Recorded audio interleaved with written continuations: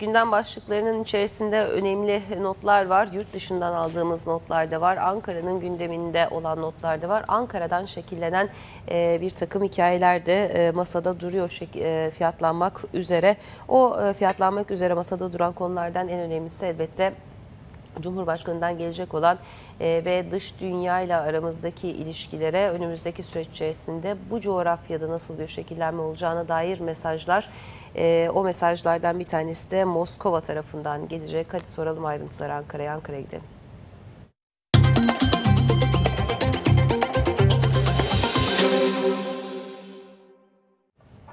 Ankara ne konuşuyor acaba? Ankara'dan aldığımız mesajlar nedir? Ee, onu soracağız. Ercan Gürses Ankara stüdyomuzda bizleri bekliyor. Ercan günaydın merhaba. Mine günaydın ve sana geçmiş olsun dileyelim tekrar. Sesinde biraz biraz düzelme oluyor e, yavaş yavaş ama tabii geçmiş olsun bu bir süreç. Çok çok teşekkür ediyorum. Evet dün çok daha kötüydüm bugün daha iyiyim. Yıkılmadım ayaktayım geliyorum burada işimin başındayım.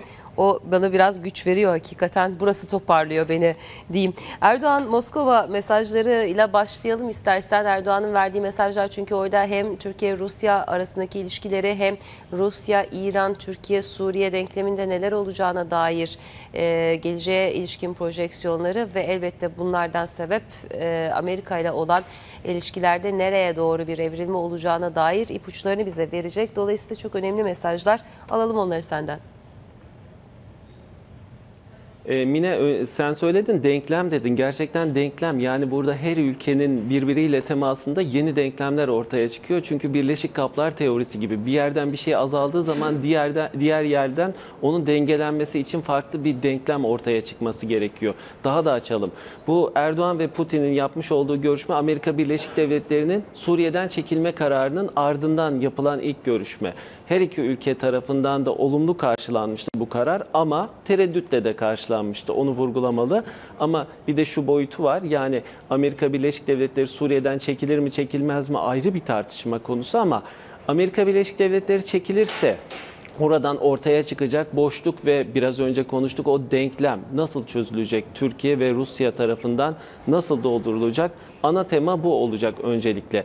Türkiye orada güvenli bölge istiyor. Amerika Birleşik Devletleri Başkanı ile de bu konuda bir ön mutabakat diyelim sağlandı ama bu konuda Rusya nasıl düşünüyor, nasıl yaklaşıyor? Öncelikle Amerika Birleşik Devletleri'nin koruması altındaki ve desteği altındaki güvenli bölgeye Rusya olumlu mu yaklaşır ki olumsuz yaklaşabilecekler olduğu belirtiliyor.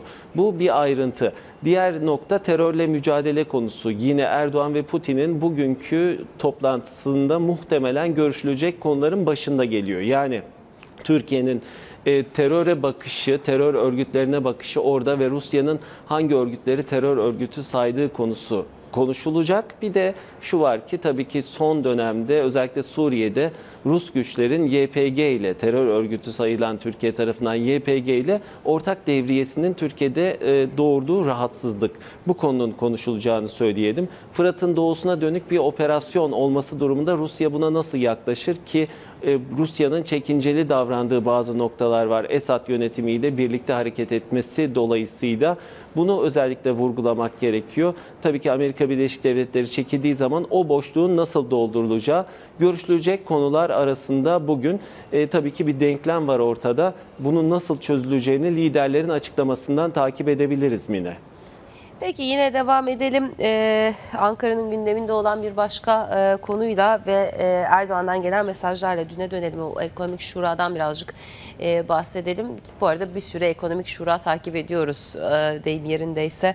İşte bir tarafta Davos'taki görüşmeler sürüyor. Oradan gelen mesajlar önemli. Orada Berat Albayrak'la temsil ediliyoruz. Berat Albayrak e, işte yine Bakan Pekcan ve Murat Çetinkaya'nın gittiğini biliyoruz. Bir taraftan da Türkiye'de e, döndü bir ekonomik şura. Top başkanlığında düzenlenmişti. Oradan çıkan önemli mesajlar var. O mesajlardan işte bir tanesi marketlerdeki fiyatlar açısından e, hayatımızda başka bir pencere açacak gibi görünüyor. Diğer taraftan bu e, ihracat meselesine ilişkin bazı notlar var. Önce bir marketten başlayalım. Markette hakikaten fiyatlarla böyle uyarı yapacak düzeyde mi? Gerçekten öyle Mine. Özellikle bazı ürünlerde, bazı kalemlerde fiyatların korkunç yükseldiğini söylemek mümkün. Tabii ki o ilk döviz spekülasyonu esnasında Ağustos ayında yükselen fiyatlar vardı. Ondan sonra eleştiri şu zaten dolar 7.2'lere geldikten sonra yükselen fiyatların dolar 5.2'lere 5.3'lere indikten sonra neden aynı oranda düşmediği yönünde. Ama tabii ki bu psikolojik bir motivasyon. Yani bunun düşmeyeceği ya da aynı oranda düşmeyeceği konusu bekleniyordu. Burada olarak vatandaşa görev düşüyor. Yani genel bir tanım yapılıyor ve çok da hoşlanılmayan bir tanım ama vatandaşa görev düşüyor. Onu vurgulamalı. Şimdi marketlerdeki asıl sorunlardan birisi şu. Fiyatların e, gerektiğinden fazla yükselmesi, daha sonra da indirim yapılıyormuş gibi görünmesi ama o indirimlerin fiyatına aslında tabiri yerindeyse şişirilen fiyatlar üzerinden yapılması. E, vatandaşın da bunu tam olarak kollayıp gerçekten o ürünleri cezalandırması gerekiyor. Yani o marketin en azından e, bir anlamda cezalandırılması ve e, oradan alışveriş yapılmaması gerekiyor. Tabii böyle bir motivasyon 2001 krizinde yaşanmıştı. E, 2001'de alışverişlerin son derecede azaldığını görmüştük. Ama tabii ortada alışveriş azalsın azalmasın gibi bir değerlendirme yanlış anlaşılmasın böyle bir şey kimse istemez alışverişlerin azalmasını ama en azından pahalı satanın deşifre edilmesi, ifşa edilmesi bu ki vatandaş arasında söz konusu olacak. Vatandaş neyi aldığını bilecek. İşin bir boyutu bu. İkinci boyut. Bazı ürünlerin promosyon adı altında yanlarına bir ürün eklenerek o yüksek fiyattan satılıyor olması. E, burada da tabii ki bir sorun var. O sorun da şu.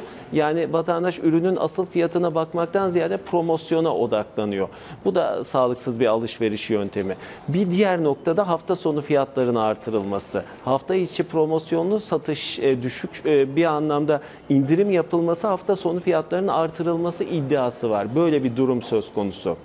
Bugün bazı gazetelere yansıyan bir değerlendirme de şu. E, Yani bazı ürünlerin fiyatları kasaya gittiğiniz zaman farklı çıkıyor. Yani bu bambaşka bir şey tabii. Bu da marketlerle ilgili bir problem ama yine vatandaşın takip etmesi gereken bir durum. E, Şu bir gerçek yani alışveriş yapıp yapmamak vatandaşın elinde ama artık dedektif gibi fiyatları e, takip etmek özellikle kozmetikte, giyimde ya da e, gıdada hangi marketlerin hangi ürünlerde daha iyi çıplak fiyat verdiğini ki burası önemli. Çıplak fiyat önemli. Promosyonlu ürün değil çıplak fiyata bakmalı ve ona göre alışveriş yapmalı e, vatandaş ve böylece tırnak içinde polisiye tedbirlere, zabıta önlemlerine de gerek kalmamalı. Bence asıl motivasyon bu olmalı Mine. Taraftan da hani eskiden e, öyleydi. Hatta hala öyle sanıyorum. Daha çok öğrencilere yönelik olarak yapılırdı ama halk günü e, tırnak içerisinde söyleyeyim onu da halk günü yazardı sinemaların kapılarında bazı sinemaların kapılarında.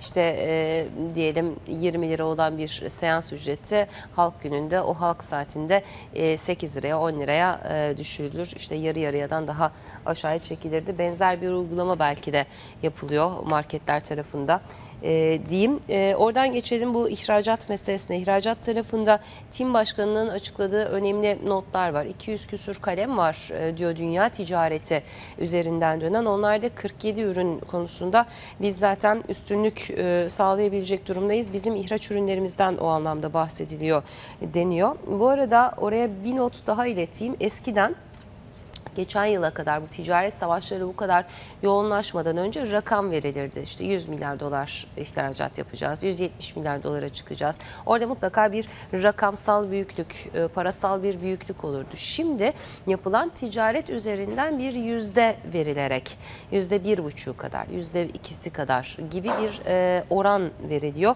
Bunun da altını çizmekte e, fayda görüyorum. Çünkü dünya ticaret hacminde de ve parasal olarak e, gerçekleşen büyüklükler arasında da çok ciddi farklılıklar oluşmaya başladı. Evet yani dünya ticaret hacminde insan e, te- ülkelerin üstün olduğu ürünler olduğu gibi yani ciddi farklılıklar var. Artık yüzde veriliyor diyorsun Mine. Bu e, üstün ürünler mevzu. Dün Tim Başkanı'nın e, bahsettiği konu. Türkiye'nin 47 üstün üründe yani daha fazla ihracat yaptı. ihracat ka- kabiliyetinin üstün olduğu ürünlere yoğunlaşması gerektiğini söylüyor. Onu da şöyle açalım yani bir rakam verelim. E, bu dünya ticaretinden Türkiye'nin bu ürünler içerisinde bu 47 üründe aldığı pay %2.8 önemli bir oran. 50 milyar dolarlık Türkiye bu ürünlerde ihracat yapıyor. Spesifik olarak ürünler değil ama o ürün kalemlerinin geneli için ifadeler söz konusu. Mesela demir çelik ürünlerinde, çelik ürünlerinde Türkiye'nin bir üstünlüğü söz konusu ki krom üretiminde Türkiye dünyada birinci. Yani onun yanında yine diğer metaller var. Tabii ki inşaat ham maddesi olan ürünler var. Elektrik, elektronik var. Hazır giyim var ki Türkiye tekstilde de çok önemli bir ülke. Hububat, bakliyat ve makine aksamları var ama gözden kaçırılan bir nokta daha var.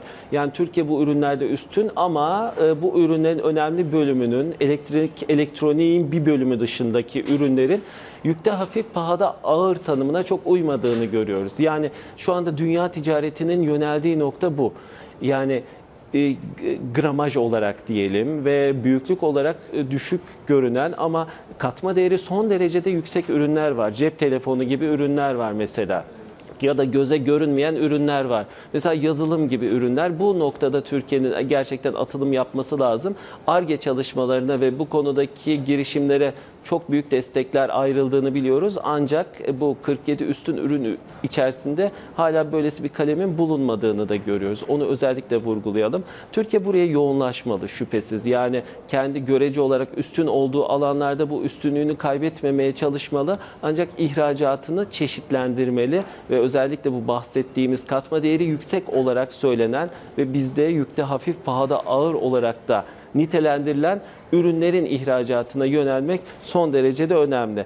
Şimdi bu ürünler içerisinde tabii ki e, bazı ürünler de var. Yani özel önem veriliyor dedik. Makine aksamları mesela hububat, bakliyat Türkiye zaten görece yıllardır bu ürünlerde ihracat anlamında e, bu 200 ürün içerisinde son derecede ön sıraya çıkan bir ülke ama dediğim gibi katma değeri yüksek ürünlere yönelmek gerekiyor yine. Şimdi gelelim bir başka e, nota yurt içerisinden hazır konuşuyorken son başlığı yurt dışına e, bırakacağım. E, bu kredi kartları ile ilgili e, sen de yayınlarında çok e, konuşmuşsundur mutlaka. Kredi kartları ile ilgili Ziraat Bankası ardından e, Vakıfbank ardından Halk Bankası da şimdi devreye girdi. Birçok düzenleme yapılıyor, birçok yapılandırma yapılıyor. Hem vatandaşa yardımcı olmak üzere yapılan düzenlemeler hem e, ekonominin dönmesine, çarkların yeniden dönmesini sağlamak üzere yapılan düzenlemeler.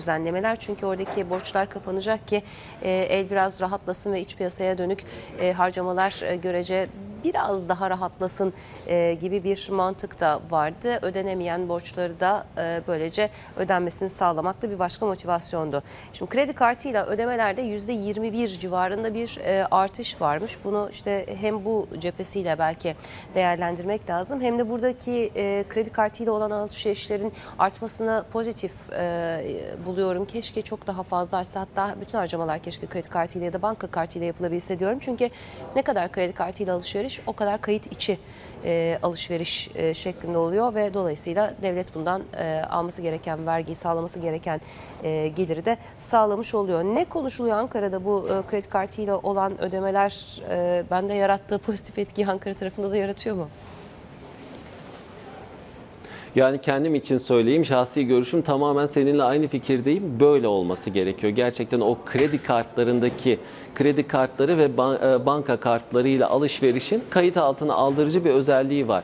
Yani normal bakış, düz bakışla baktığımız zaman çok olumlu bir gelişme. Kredi kartı harcamaların %21 artması. Ama Türkiye'deki kredi kartı motivasyonu son derecede farklı. Yani o biliyorsunuz Ziraat Bankası, e, Halkbank'ın özellikle başını çektiği ve kredi kartı ödemelerinde bir anlamda kolaylık sağlayacak düzenleme o temerrüde düşmüş kredi kartları borçlarının hafifletilmesi, kolaylaştırılması amacıylaydı.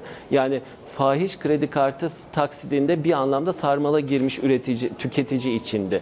Bu da şu anlama geliyor. Genel anlamda söyleyelim, genelleyeceğiz. Genellemeler bazen e, doğru sonuçlar da verebilir. Türkiye özelinde bu tür kredi kartı harcamalarında zaman zaman o kredi kartının tam olarak ne için kullanıldığını bilmemek vermekten ya da e, onu bir borç alma e, enstrümanı olarak değerlendirmekten kaynaklanan ciddi sorunlarımız var. Bu nedenle kredi kartı harcamalarının artması Türkiye'de farklı farklı da değerlendirilebilir. Genel anlamda söyleyelim. Yani kredi kartı harcamaları %21 artmış. Ee, Türkiye'de özellikle düzgün ödeme aracı olarak e, söyleyelim. Kayıt dışı ekonominin önüne geçmek anlamında çok iyi bir şey kredi kartı kullanmak. Bir de ödeme kolaylığı sağlamak anlamında. Para üstüyle uğraşmıyorsunuz, başka sorunlarla uğraşmıyorsunuz. Artı vatandaş için kolaylık oluyor. Ama bir şartla kontrolünüzü yitirmeyeceksiniz. O kredi kartını kolay borçlanma aracı olarak görmeyeceksiniz ve sonrasını düşüneceksiniz. Burada bankalara da iş, e, önemli pay düşüyor gerçekten. Yani artık limitleri ayarlamada, insanların limitlerini ayarlamada ciddi bir e, al- şey yapmak lazım önemli derecede kontrollere gidilmesi gerekiyor. Bir bu nokta var. İkincisi de artık o kredi kartlarının azaltılması ve herkesin o kredi kartını amacına uygun olarak kullanması da gerekiyor. Bu şekilde baktığımızda normal e, olan kredi kartıyla harcamak. Bir de şunları söylemek lazım. O kredi kartı ile ilgili rakamlar içinde ilginç bazı ayrıntılar var. En çok işlem 31 Temmuz tarihinde olmuş geçtiğimiz yıl ve motorlu taşıtlar vergisi ödemeleriyle ilgili olmuş. İnternet üzerinden kredi kartı ile olmuş. Bu bir ayrıntı olarak karşımıza çıkıyor. Yine İnternette o muhteşem cuma olarak adlandırılan 23 Kasım harcamaları 2.1 milyon harcama yine orada da çok fazla sayıda işlem olmuş. Böylesi günlerde işlemin artması ve en azından vergi kaçakçılığının önüne geçilmesi anlamında kredi kartlarının çok önemli bir işlevi var. Ve ben birkaç sene içerisinde bunun oturacağını ve kredi kartının gerçek bir ödeme aracı olarak tamamen ödeme aracı olarak düşünüleceğini ve bu noktada bir motivasyon olacağını özellikle düşünüyorum. Uzun vadede halkın bilinçleneceğini ama bu noktada da tabii ki bazı düzenlemelerin yapılarak onların yönlendirilmesi gerektiğini düşünüyorum yine. Umuyorum dediğin gibi e, doğru bir e, yönlendirme yapılır ve elbette insanların kredi kartını harcamaları için kullanmaları e, sağlanabilir. Çünkü kredi kartı daha çok şu anda geçimi e, getirebilme, geçimi sürdürebilmek için e, kullanılıyor. Kolaylıktan çok e, gelecekten yemek e, için kullanılıyor. O da geçim koşullarıyla elbette doğrudan ilgili. Gelelim e, şimdi bir askeri meseleye e, hem askeri hem siyasi hem ekonomik e, sonuçlar doğuracak bir hikayeden e, birazcık bahsedelim. Bu sanıyorum e, Trump'ın çıkışıyla birlikte e, daha çok başladı. Fransa ve Almanya e, arasındaki görüşmeden bahsediyorum. Avrupa ordusu e, söyleminden bahsediyorum. Şimdi Av- Avrupa Birliği benim hatırladığım e, savaşmayalım artık iş yapalım diye kurulmuş bir birlikte. E, fakat yine Trump hayatımıza girdikten sonra işler biraz değişti. E, Trump işte siz Rusya ile Çin'le iş yapıyorsunuz, alışveriş yapıyorsunuz. Benden almanız gereken ürünleri tutuyorsunuz, onlardan alıyorsunuz. Bir de üstüne üstlük güvenliğinizi ben sağlıyorum. O iş öyle olmaz. E, ya onlarla iş yapmayacaksınız ya da hacminizi azaltacaksınız ya da ben artık sizi korumuyorum gibi bir çıkışta bulunmuştu. O biraz korumuyorum ama saldırabilirim tehdidi olarak da algılanmış görünüyor ki Avrupa böyle bir ordu peşinde koşuyor. Bu kadar silahsızlanmanın öneminden, bu kadar savaşmanın e, gereğinden bahsederken şimdi bir de Avrupa ordusu takip edeceğiz gibi öyle mi? Kesinlikle öyle. Yani real politik böyle bir şey. Sonuçta söylenenler farklı, kafaların arkasındaki plan farklı. Yani sonuçta bir güvenlik endişesi ortaya çıkarsa o silahlanmama falan tabiri yerindeyse hepsi hikaye haline geliyor ve bu ülkeler gerektiğinde birleşerek silahlanabiliyorlar, büyük ordular kurabiliyorlar. Hatta bazı çelişkiler de farklı farklı sonuçlara yol açıyor. 1963 yılında Almanya ile Fransa'nın yaptığı bir anlaşma vardı.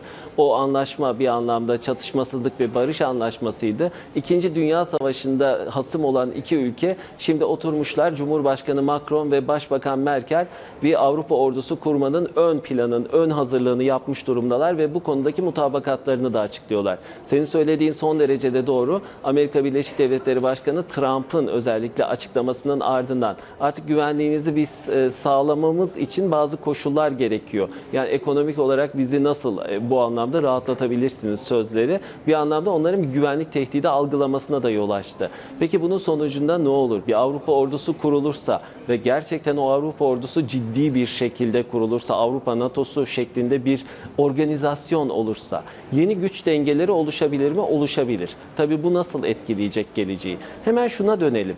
Yani Soğuk Savaş sonrasında hani şöyle yorumlar yapılmıştı. NATO işlevini yitirdi artık. Yani NATO paktı, Varşova paktı vardı. Ama NATO'nun işlevini yitirmediği, onu farklı bir e, şekle sok- e, soktukları görüldü ülkelerin. Amerika öncülüğünde ülkelerin. Yani o NATO'nun konsepti bir anlamda o hakim güçlerin, NATO'ya hakim güçlerin ki başta Amerika Birleşik Devletleri olmak üzere onların tehdit olarak gördükleri uluslararası konulara müdahale anlamında NATO'yu kullanabilecekleri ortaya çıktı. Şimdi NATO'da hakim gücün Amerika Birleşik Devletleri olduğunu biliyoruz ve bu bahsettiğimiz Almanya ve Fransa gibi Avrupa ordusunda öncülük edecek ülkelerin NATO'da da olduğunu biliyoruz. Ama ortada NATO'ya da bir anlamda alternatif olarak çıkabilecek başka bir örgüt de söz konusu. Buradan şuraya gelmek lazım.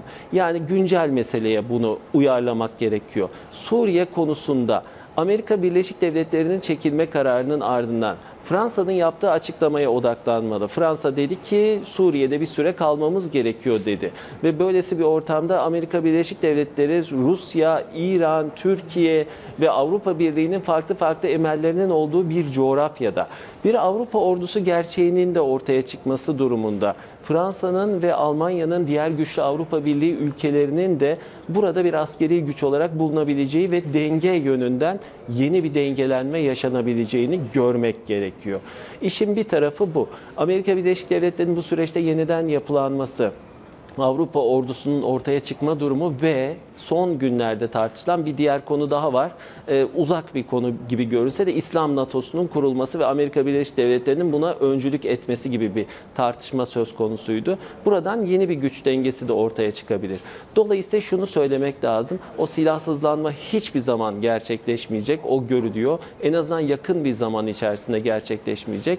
Almanya ve Fransa'nın öncülük ettiği bu Avrupa ordusu da orada ve özellikle Avrupa coğrafyası değil ama Orta Doğu coğrafyasında da dünyanın her yerinde de yeni bir dengelenme ortaya çıkartacak. Buradan şu tartışma da e, çıkabilir önümüzdeki süreç içerisinde. O zaman NATO'ya gerek kalmayacak mı? Hayır NATO'ya gerek kalacak muhtemelen. Ama burada tabii ki hakim güçlerin Amerika Birleşik Devletleri'nin ne gibi bir e, ne gibi bir NATO öngördüğünü de e, ortaya koymak gerekiyor. Avrupa Birliği'nin Amerika Birleşik Devletleri'nin böylesi bir askeri güç oluşturduğu ortamda acaba Rusya, İran ve belki Suriye bloku burada bir e, ete kemiğe büründürmüş bir askeri yapı ortaya çıkartabilirler mi? Hatta Çin bunun içerisinde yer alır mı? Ya da o ayrı bir organizasyon yapar mı? Bunu da önümüzdeki süreçte takip etmek gerekiyor diye düşünüyorum Mine. Peki çok teşekkür ediyorum Ercan. Kolay gelsin ee, diyeyim sana Ankara'ya sevgiler. Şimdi başka gündemimizde neler var neler yok onların ayrıntıları üzerinde de e, duracağız. Davos'tan bahsediyoruz bir süredir. E, Davos heyecanını da kaybetti gibi mesajlarınız gelmiş. Birazdan belki onun da ayrıntılarını elbette e, konuşuruz. Hazine ve Maliye Bakanı Berat Albayrak Davos'ta. Davos'ta Ticaret Bakanı Ruhsar Pekcan'la birlikte aynı zamanda Merkez Bankası Başkanı Murat Çetinkaya e, da Türkiye'yi temsil eden heyetin içerisinde yer alıyor. Devlet başkanlarının katıldığı bir yemeğe katıldı Bakan Albayrak da buraya davet edildi. Gelişmekte olan e, piyasalar konulu bir oturuma e, katılmıştı Berat Albayrak. Konuşma yapması planlanıyor e, burada. E, Bakan Pekcan'la birlikte yerli ve yabancı iş insanlarıyla da bir araya gelecekler. Oradaki görüşmeleri de sürdürecekler. Davos zirvesi ne zaman sona erecek? 25 Ocak itibariyle sona eriyor. Deutsche Bank tarafına bir soruşturma gelmiş durumda. Almanya merkezli bir yatırım bankası Deutsche Bank bildiğiniz üzere bankanın Amerikan Merkez Bankası FED, e, FED tarafından e, soruşturulması durumu söz konusu. Deutsche Bank soruşturması Danimarka'nın en büyük bankası olan Danske e, Bank'ın Estonya şubesi aracılığıyla kara para aklama e, ya karıştığına yönelik bir soruşturma. Bunun bir parçası olduğunu iddia ediyor FED. Deutsche Bank'ın Deutsche Bank yönetimi bu konuda bir iç soruşturmada hali hazırda yürütmekteydi. Onun da e, bir not olarak düşmüş olalım. Ticaret savaşlarından bahsediyoruz. Yeni yıla bu şekilde başlamıştık. Acaba ticaret savaşı nereye gidiyor? Onun ayrıntılarının peşindeyiz biz de. Ticaret savaşı yatışıyor derken son haberler iyimserliği bir parça yeniden bozdu. Financial Times ve CNBC'nin e, kaynaklarına dayandırdığı haberde Beyaz Saray'ın bu hafta Çin'le planlanmış bir görüşmeyi iptal ettiği öne sürüldü. Malum bu görüşmeler iptal edildiği zaman işler e, kötüye yoruluyor. Görüşmeler yapıldığında işler iyiye doğru gidiyor deniyor. Habere göre Beyaz Saray'ın gerekçesi de devam eden anlaşmazlıklar olmuş iptal gerekçesi. İki ülke 1 Mart'a kadar anlaşamazlarsa eğer kendisini tarifelerin adamı olarak nitelendiren Trump ek tarifeleri yürürlüğe koyacağının e, sözünü vermişti. Bakalım o söz nasıl e, şekillenecek. Bulgaristan e, tarafı için bir faiz uyarısında bulunmakta fayda var. E, küresel ekonomide faiz oranlarının geldiği seviye Bulgaristan'da halihazırda tartışılmaya başlanmış durumda. Çünkü Bulgaristan Merkez Bankası faiz oranlarının artışından doğacak riskleri e, konusunda uyarıyor. Artan kredi faiz oranlarından kaynaklanabilecek riskler hakkında uyarılarda e, bulunmuş Bulgar Para Otoritesi. Son raporunda uyarıların tonu biraz daha sertleşmiş durumda. Daha aktif bir kredi vermenin sonucunda oluşan döngüsel risklere işaret ediyor e, Bulgaristan. Brexit e, kör düğüm yeni bölüm nasıl e, gelecek onu göreceğiz. Avrupa Parlamentosu'nun Brexit anlaşmasının e, onaylanması sürecini gelecek hafta başlatması e, bekleniyor. Avrupa Parlamentosu'nda üyesi üyelerinden bir tanesi Danuta'nın yaptığı bir Danuta e, yaptığı bir açıklama bu. Anlaşmanın onay sürecini Ocak sonunda başlatma konusunda umutlu olduklarını söylemiş. Onay sürecinin 29 Mart öncesinde tamamlanabilmesi için de gelecek hafta bu işi tekrar görüşeceğiz diyor. Çarşamba veya Cuma günü Avrupa, Parlamentosu'na sunulmasını bekliyoruz diyor. Avrupa Parlamentosu'nun Brexit konusundaki e, temsilcisinin yaptığı bir açıklamada var. Onay sürecinin başlatılmasının önemli bir sinyal olacağı üzerinde durmuş o da. E, sinemalardan bahsetmiştik, krizlerden bahsetmiştik. Sinemada kriz bitmiyor gibi görünüyor. Maş Sinema Grup yatırımcılarla olan toplantısını erteledi. E, toplantı sinema filmlerinin değerlendirilebilmesi ve sınıflandırılması hakkında kanunun Cumhurbaşkanı Recep Tayyip Erdoğan tarafından değerlendirilmesi sonrası yapılacak. Yapımcılar salı akşam saatlerinde aranarak söz konusu toplantının önümüzdeki günlere ertelendiği konusunda bilgilendirildiler. Bunu da bir not olarak geçelim. Bugün e, bekleyeceğimiz veri var mı? Var. Bir tane e, veriyi e, takip edeceğiz. Hadi gelsin bakalım.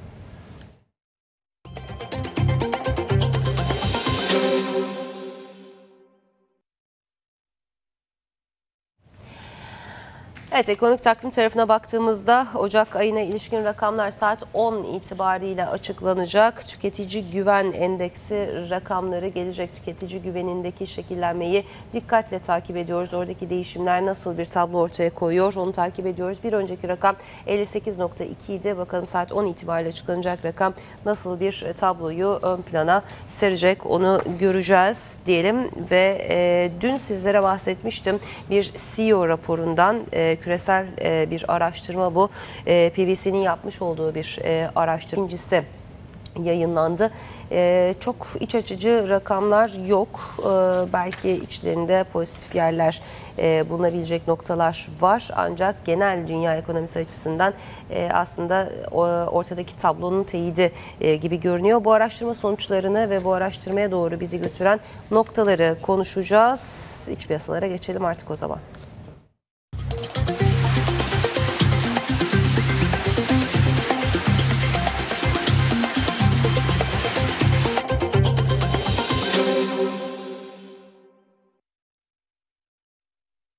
İç piyasaları konuşacağız. Orada sizlerden gelen mesajlar da gözümden kaçıyor değil.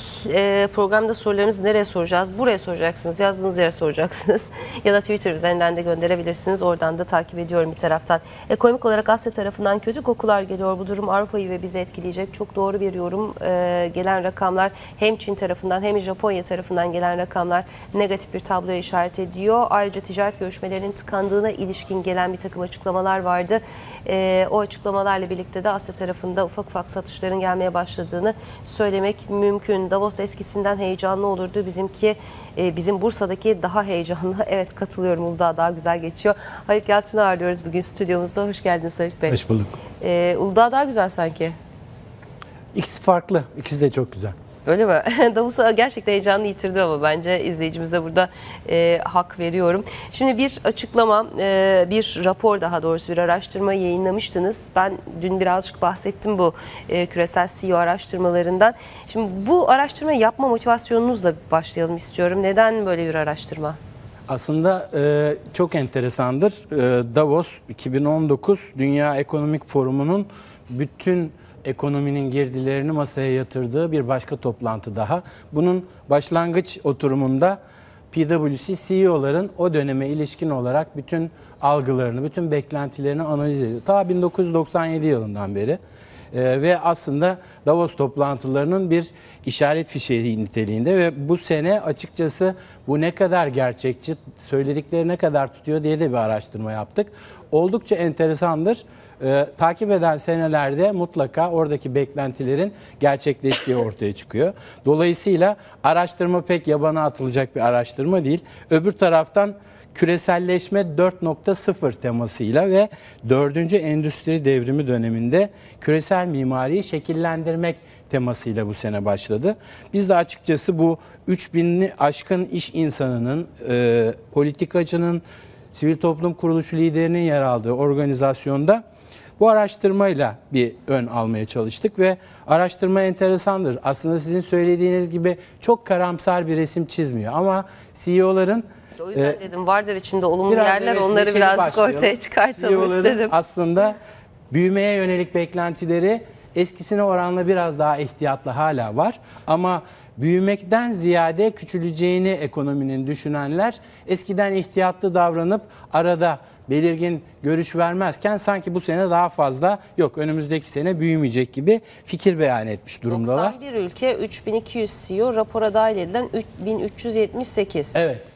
Bu 1378 ve 3200 arasında kalan CEO'lara ne oldu? Bunlar Onları arada kalmıyor aslında. Gayri safi yurt içi hasıla oranlarına göre çok daha gerçekçi bir yansıma olması için değerlendirmenin içinde olağan sonuçlara yansıtılıyorlar ve aslına bakarsanız bu 1378'in yapısı da çok enteresan. %48'i bu 1378 CEO'nun 1 milyar doların üstünde ciroya sahip şirketler.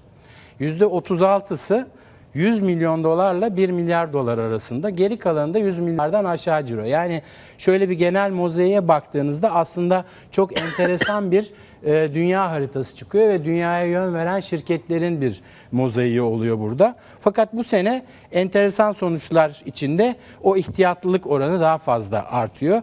Peki Ocak 2018'de %57 CEO önümüzdeki dönem dünya ekonomisi büyüyecek diyordu. Olumlu rüzgarlar esiyordu. Donald Trump e, Davos'a geldiğinde yatırımı Amerika'ya bekliyorum diyordu. Herkesin olumlu e, sinyaller beyan ettiği bir ortamdı. Ne oldu da bir senede ortam biraz daha ihtiyatlıya döndü? Biraz ona eğilmek isterim. Aslında güven bir parça düşüyor. IMF global büyüme tahminini düşürdü. Popülizm, korumacılık geri geldi. E, Amerikan faiz oranları kıpırdıyor. Dolayısıyla Amerika ile Çin de didişmeye başladı. Bir parça CEO'ların dışarı baktıklarında ortam eskisi kadar büyümeye müsait değil gibi hissiyatları var. İhtiyatlı olmak açısından o yönde gidiyorlar. Ama küreselleşme 4.0 bu umutla aslında konuşulan bir tema. Dolayısıyla konuşulanların yapılacakların bir parça değişeceği bir dönem olması bekleniyor ve de yeni temalar işin içine giriyor. Dışarıda başka bir yere yatırım yapmaktan ziyade görüyoruz ki e, CEO'lar aslında kendi iç kaynaklarına e, geri dönmeye başlıyorlar. Kendilerini yeniden eğitmek ve de yeteneklerini yükseltmek konusunda önemli bir eğilim var. Dolayısıyla üç temel sonuç var burada. Büyüme konusunda daha ihtiyatlı bir gidişat, bir yaklaşım.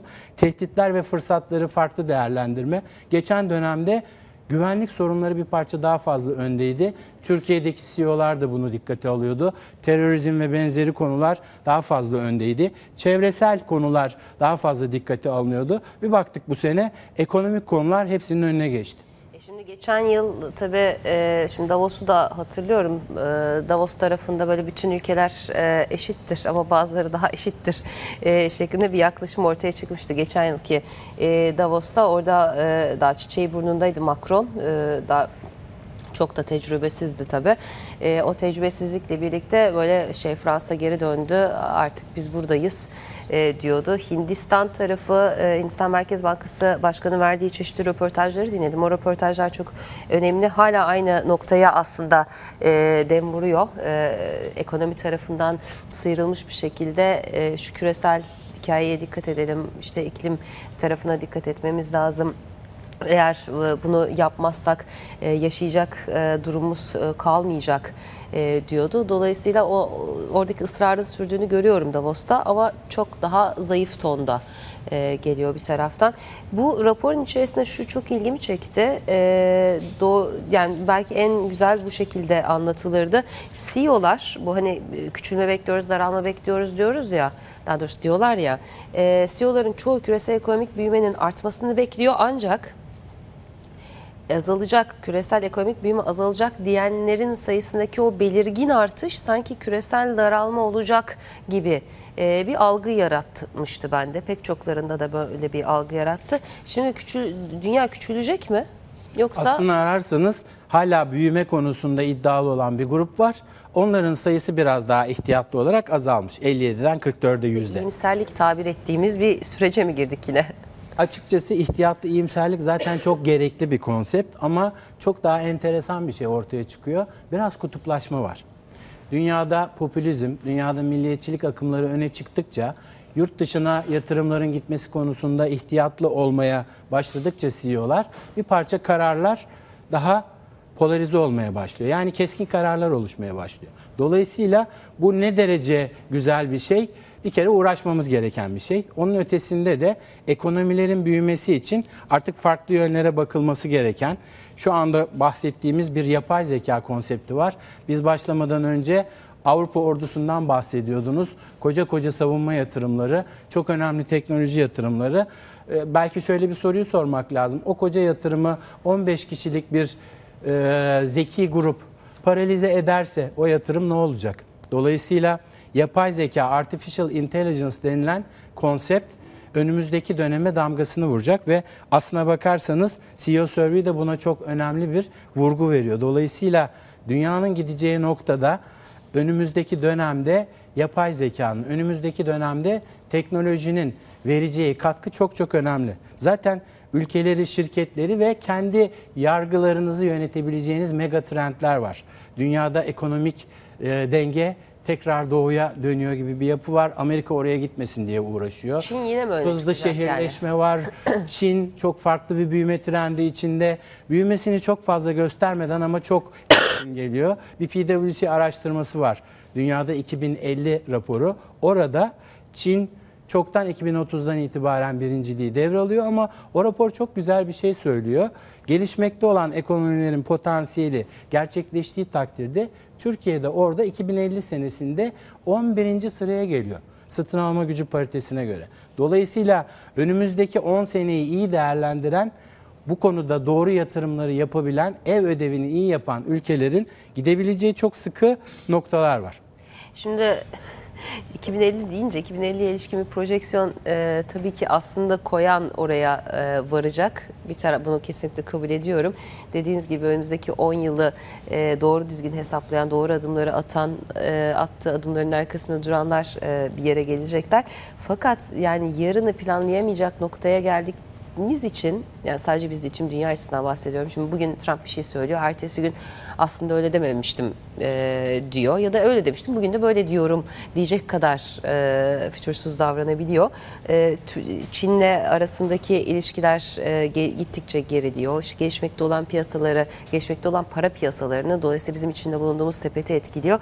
O yüzden böyle bir 2050 projeksiyonu çok böyle e, zorlayıcı e, halde önümüzde duruyor. Ama tabii onun için çalışmamız gerekiyor. Çin bu kadar kötü diyorduk. Ne oldu? İyi miymiş?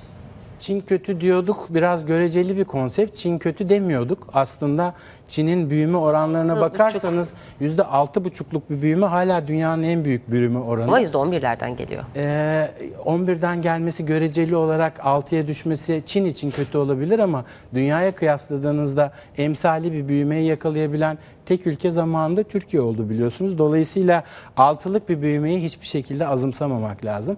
Öbür taraftan Amerika ile Çin arasındaki ticaret didişmesi diyelim. Ne kadar gerçek, ne kadar dünyaya gerçekten çok gelecek bunu da iyi analiz etmek lazım. Artı bu şekilde bir e, didişmenin arasına Avrupa nasıl girecek? Çünkü CEO Survey de buna işaret ediyor. Ticaret savaşları en fazla dikkat çeken risklerden biri. Ama hangi ticaret savaşı olduğu da ayrı konu. Her ülkenin dikkate aldığı ticaret savaşı başka. Mesela e, şu anda çok iyi anlaşmalarla kapanmamış bir Brexit. Buna hard Brexit, kötü Brexit deniyor. Ee, İngiltere için gerçekten çok büyük bir kaygı. İngilizlerin ve Avrupa'nın en çok baktığı ticari didişmelerden biri o. Öbür tarafta Amerika, Çin, Amerika ve Çin'i etkiliyor. Onun ötesinde her ikisine mal sağlayanları çok ciddi etkiliyor. Bize çok ciddi etkisi oldu bir taraftan bakarsanız. Bir de Amerika'nın kendi içinde Meksika, Amerika, Kanada didişmesi var. Dolayısıyla orada da risk unsuru olarak ele alınan e, ticari savaşlar farklı yönlerde. Önemli olan bunun nereye gittiğini iyi öngörüp ona göre konum almak. Biz de Türkiye açısından baktığımızda Türk CEO'ların hep söylediğim bir şey vardır. Bu biraz önce söylediğiniz dünyada önümüzü göremiyoruz ki 2050'ye bakalım diye. Ben bu raporun 2030 rakamları çıktığında 2012 senesiydi sanıyorum. 2030'da kim uğraşacak şimdi? Ee, biz önümüze bakalım diyordum. 2030 dikkat ederseniz 10 sene önümüzde hiçbir şey kalmadı. Evet. Dolayısıyla o ileri planlamayı bugünkü konumlamayla yapmak çok önemli. Bundan sonra da 10 seneler çok daha hızlı geçecek. Onu da unutmamak lazım. Demeyin Hele öyle. teknolojinin etkisiyle. Şimdi e, Türkiye tarafı bu Avrupa ordusunun mesela az önce Ercan'la da konuştuk Avrupa ordusunun kuruluyor e, ya da kurulmasının isten, istenmiş olmasının sebebi de herhalde bu. E, ticaret savaşına da Avrupa bu cepheden bakıyor. Ya Amerika bize saldırırsa ya da Amerika güvenlik ticaret endişesi savaşları hiçbir zaman askeri yaratırsa. boyuta ulaşmaz. Ben bir parça neşe katmak için orduya değindim. Finansçı olarak hiç ordu ve savunma ile ilgili şeylere değinmemeyi tercih ederim. Yani ben de değinmemeye tercih ederim ama e, finalde hani yine de bir risk olarak belki CEO'lar da koyuyordur Küçük bu risk. bilmiyorum. Küçük Peki bir risk. şimdi e, Türkiye tarafına dönelim. Türkiye için e, CEO'lar ne bekliyor hem gelir tarafında? Şimdi seçimlerden sonrası için e, önemli bir görüyordu piyasa. Seçim sonuçlarından bağımsız olarak söylüyorum. Sonuç itibariyle bir seçim yapılacak. Seçim eşittir piyasa diliyle e, konuşmak gerekirse e, kimin kazandığından bağımsız olarak bir risk ortaya koyar, bir belirsizlik ortaya koyar. Dolayısıyla o gün gelinceye kadar e, beklentiler, e, belirsizlikler satın alınır. E, ardından gerçekleşmelerle birlikte 31 Mart'ta neler olacak, başımıza ne gelecek e, tarafını birazcık konuşalım. CEO'lar bu konuda ne bekliyor? E, işte döviz kurunda e, seçimlerden sonra bir patlama olur mu? soruları var.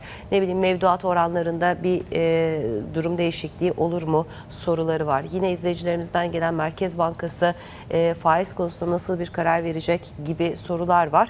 Dolayısıyla onları şöyle aynı potanın içerisinde eritelim sizinle. Şöyle başlayayım. Ee, Türk CEO'ları geçen sene de bu ortalık güllük gülistanlık gözükürken ihtiyatlıydılar. Çünkü CEO'lar gerçek anlamda ekonomide elleri olan, dataları iyi değerlendiren ve geleceğe yönelik en azından 3 senelik planlarını çok detaylı olarak yapan bir grup.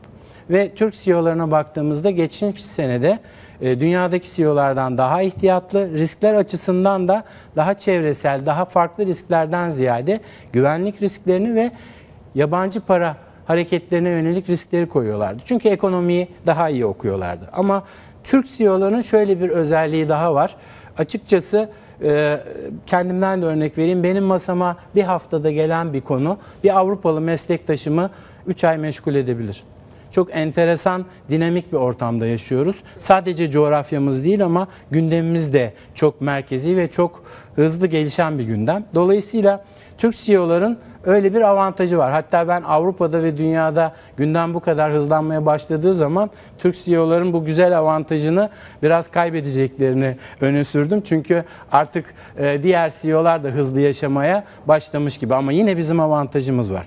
Şöyle bir enteresan bulgu var. Türk CEO'ları önümüzdeki 12 ay için sorulduğunda şirketinizin gelecek 12 ay içindeki gelir artış potansiyeline ne kadar güveniyorsunuz sorusuna oldukça ihtiyatlı cevap verdiler. %82 dünyada güveniyorum derken güvenmiyorum derken %63 Türkiye'de güveniyorum dedi.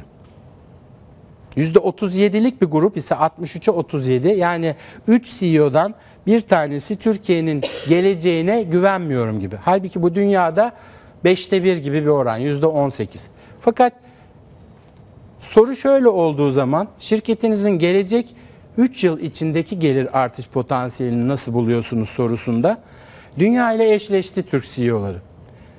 Yaklaşık %87'lik bir grup dünyada e, şey yapıyorum güven, güveniyorum derken 3 senelik büyümeye Türkiye'de de %85'lik bir grup geleceğe güvendiğini beyan etti ve %14 ve %9'luk tamamlayıcı rakamlarda güvenmiyor. Dolayısıyla Türk CEO'ları daha yakın bir dönemde sorunlu bir ekonomik ortam ama orta vadeye geldiğinde daha iyi çözümlere ulaşılan bir e, Türkiye bekliyorlar. Şimdi şuradan da e, bir gidelim istiyorum. Bu kıyaslama e, bence çok önemli. 2018'in ilk 10 tehdidi neymiş? 2019'un ilk 10 tehdidi olarak neler görülüyor?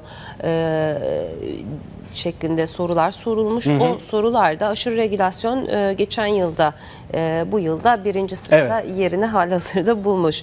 E, ikinci sırada terörizm yer alıyormuş 2018'de. E, şimdi 2019 için politika belirsizliği Evet. E, deniyor. Bu terörizmden kasıt herhalde ağırlıklı olarak Orta Doğu coğrafyasından Dünyanın e, her tarafı terörizme boğulmuştu 2018'de. Araştırma Eylül-Ekim aylarında yapıldığı için dünyanın her tarafındaki CEO'lar terörizm ve sosyal çalkantılardan ürküyordu. Peki buradaki politika belirsizliği şeklinde ikinci sıraya bu sefer e, terörizmin yerine oturan hikaye Trump'ın e, dünyada Sadece Trump yaratmış değil, olduğu ülkeler birbirlerine değişik tarifeler, değişik uygulamalar yapıyorlar. Regülasyon artıyor. Dolayısıyla etkiye tepki regülasyon olduğu zaman CEO'lar, şirketler kendi büyümelerinin önünde her zaman bunu bir engel olarak görüyorlar. Fakat regülasyonun fazla olması, regülasyonun karmaşıklaşması çok da kötü algılanmamalı. Çünkü genel toplumun daha iyi ilerleyebilmesi için çoğu zaman o regülasyonlar çok etkin. Yani tek amacın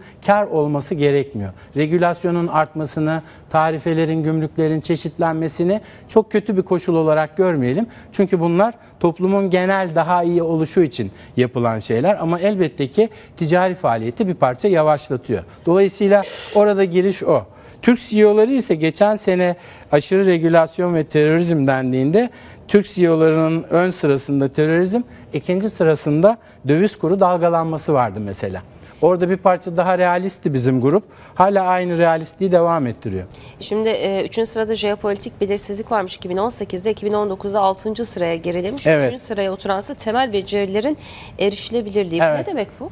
Bu e, yetenek için savaşın tam anlamıyla tekrardan hayata geçtiğini gösteriyor. Çünkü yapay zeka ile başa çıkacak, ona domine edecek bir grubu yetiştirebilmek için daha bugünden şirketinizin geleceğe olan yeteneği şirketinizin içinde tutmak, yetiştirmek ve en azından gelecek vaat etmek zorundasınız. Bunun için büyük bir savaş var. E, bir dakikamız var. E, o yüzden 2018 kıyaslamasını 2019'u sayarak sadece devam edeceğim. Ticaret savaşları 4. sırada, siber tehditler 5. sırada. 6'yı söyledik jeopolitik belirsizlik, 7 korumacılık, 8 popülizm, 9 teknolojik değişimin hızı, 10 döviz kuru dalgalanması. 10. sıraya yerleşmiş görünüyor o daha önce. E, geçen yıl da aynı seviyedeymiş. Türkiye'de birinci sırada. Ama evet Türkiye'de birinci sırada. Son bir dakika nasıl toparlayalım? Genel olarak baktığınızda yapacak çok önemli şeyler var. Bir kere önümüzdeki 10 sene altını çizdiğim gibi her şeyden her tarihteki 10 seneden daha hızlı geçecek. Bizim Türkiye olarak baktığımızda önümüzdeki 10 sene kaybedecek hiçbir vaktimiz yok. Yapay zekaya, teknolojideki gelişime mükemmel bir yatırım yapmamız lazım. Etrafımızdaki coğrafyada çok önemli fırsatlar, çok önemli değişimler var. Bir Brexit, bir e, kuşak ve yol girişimlerini iyi analiz edip ona göre konumlanmadığımız takdirde jeopolitik olarak mükemmel bir konumdayız. Bunun fırsatlarını tam değerlendiremeyebiliriz. Ama benim gördüğüm hem insan kaynağımız hem buna yönelik bilincimiz de eğer ortak hiçbir kaygıyı, hiçbir politik kaygıyı öne koymadan, didişmeyle vakit geçirmeden işimizi yaparsak önümüzdeki 10 sene bizim yılımız olabilir. Peki çok teşekkür ediyorum vakit ayırdığınız için e, Haluk Bey. E, kolaylıklar diliyorum size. Bir kısa ara vereceğiz. Aranın ardından ben buradayım.